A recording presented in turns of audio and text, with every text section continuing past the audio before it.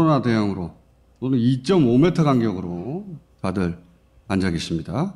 자, 각각 세 번 배웅할 방송 다스베이다 제 105회 시작하겠습니다.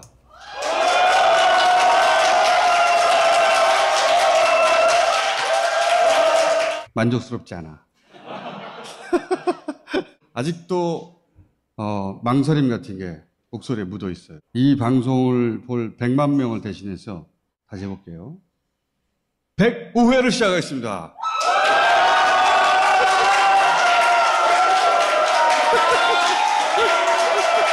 짧게 총수 브리핑으로 이제 후보 등록이 되니까 이제 그래서 또 정리를 한번 해보죠.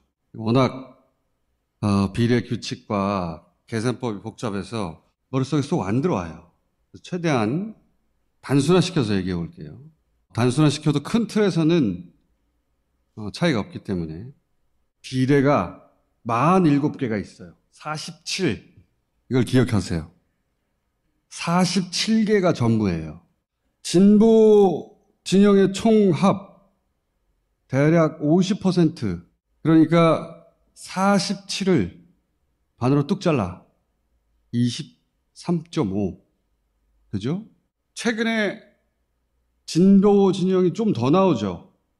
그러니까 두 석 정도 더해서 25석 전후 47개 중에 25개 전후를 놓고 생각해야 되는 거예요. 여기서 출발해야 됩니다. 25개 플러스 마이너스. 여기서 첫 번째 상수가 있죠. 정의당 5석 플러스 마이너스. 현재 지지율 보면. 그러면 25개 안팎에서 5개 안팎을 빼면 몇 개가 있어요? 20개가 있는 겁니다. 퍼센테이지는 다 잊어버리고. 이 20개 안팎을 놓고 선거를 하는 겁니다. 마음이 막 뜨겁다고 20개가 40개가 되는 게 아니에요. 딱 20개 남짓. 얼마나 한정된 자원입니까? 20개라고요.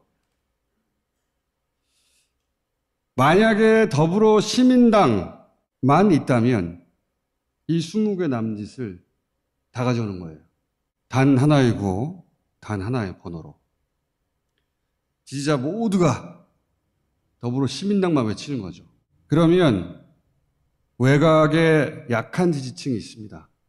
어떨 때는 문 대통령을 지지했다가 어떤 때는 지지하지 않았다가 문 대통령의 지지율이 40%가 바닥인 게 확인이 됐죠. 때로는 45%, 때로는 55% 왔다 갔다 하죠.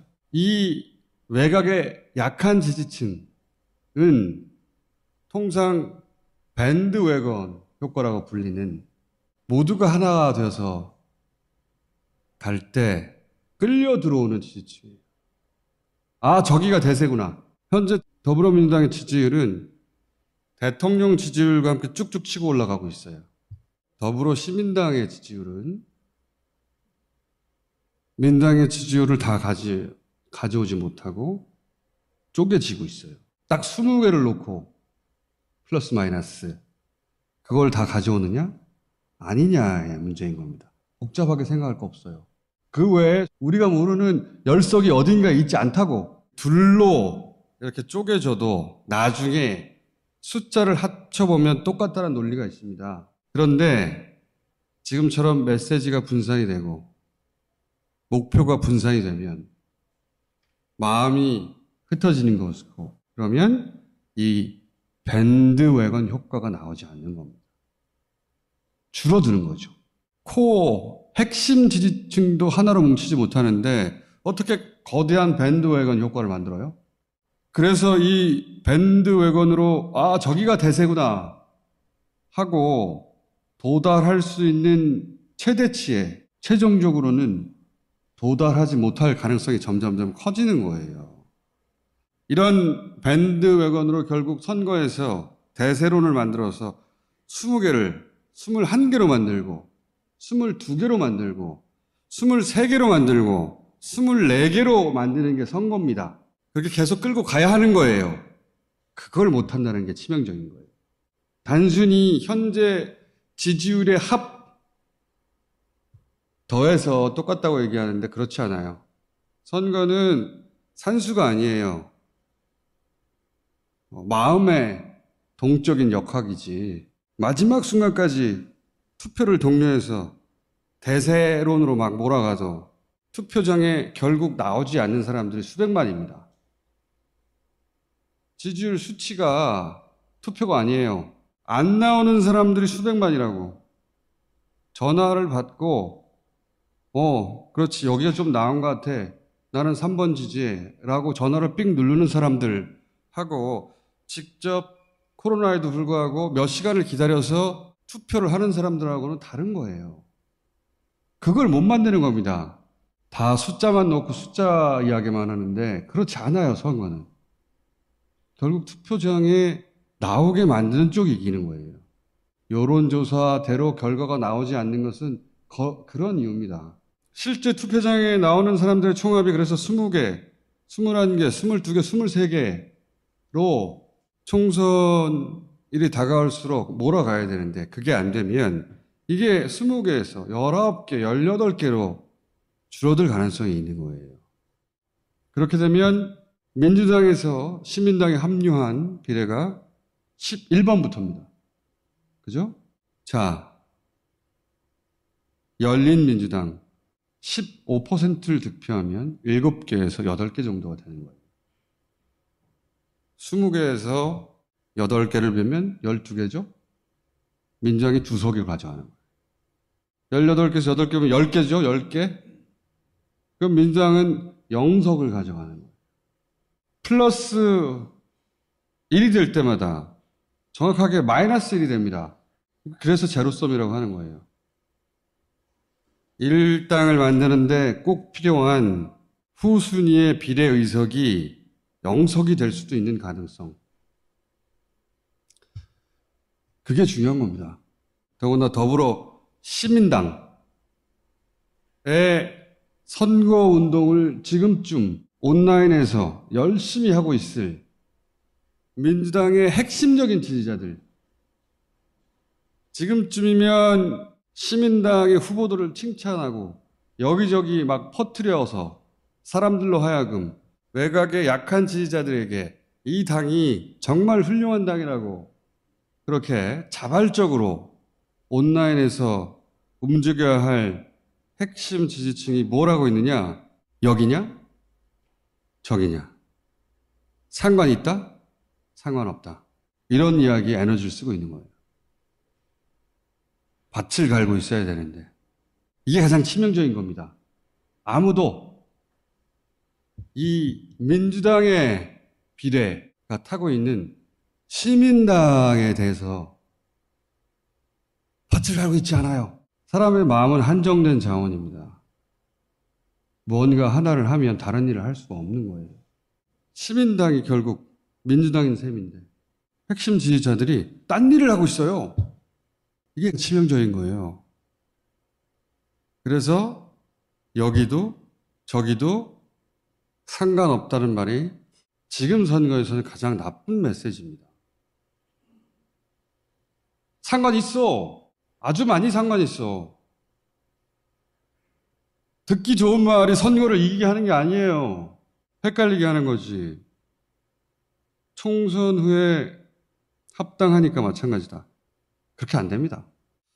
당선이 되고 정당 보조금이 나오고 사람이 모이고 원래 정치적인 분화는 내부에서 시작되는 겁니다. 같은 편에서. 일란성 쌍둥이도 각자 삶을 사는 거예요. 국회의원을 당선시킨 정당이 선거 직후에 누가 그걸 바로 없애버립니까? 괜히 더불어 시민당이 따로 탄생한 게 아닌 거예요. 자세히도 보고 멀리도 봐야 하는 겁니다. 이해찬 대표처럼 민주당의 역사를 상징하는 그런 정치적 거인, 구심점, 그런 분이 총선 후에 은퇴하죠. 그런 시점에 분화의 씨앗이 바깥에서 잉태하는 것은 박수 칠 일이 아닙니다. 정의당 표를 가지고 온다고 하는데 착시예요. 민주당 표 중에 선거 때는 의례 정의당을 지지했던 사람들 중에 시민당으로 돌아오던 와중에 중간에 그 표가 절로 빠진 거예요. 정의당 표를 가져오는 게 아니에요. 누가 문재인 대통령을 지키기 위해서 정의당을 지지합니까? 정의당은 정의당을 지키기 위해서 그 핵심 지지층이 지지하는 거예요.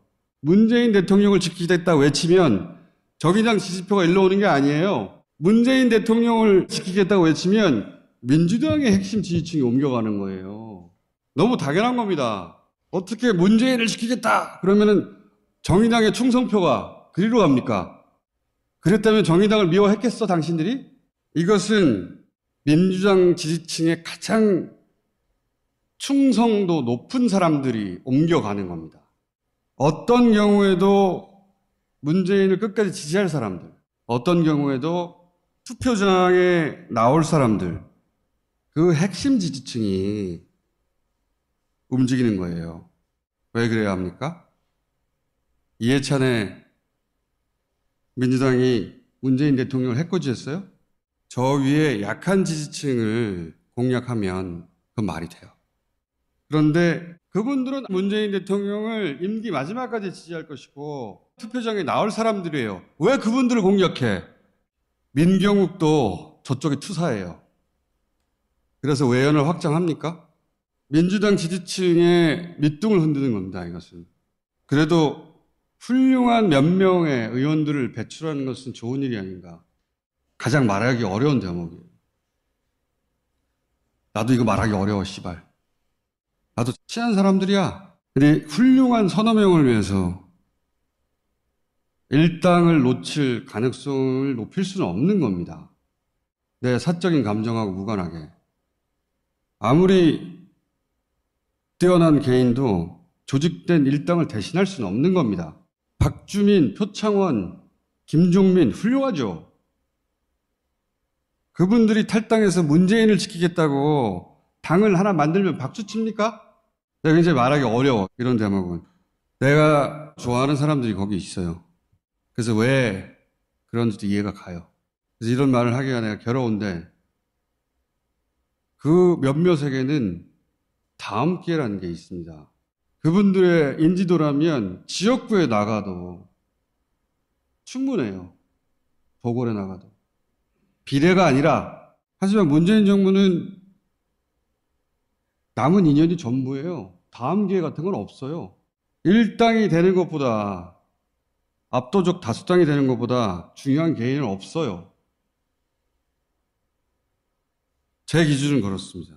하고 싶지 않은 이야기인데 할 수밖에 없어서 다시 한번 했어요.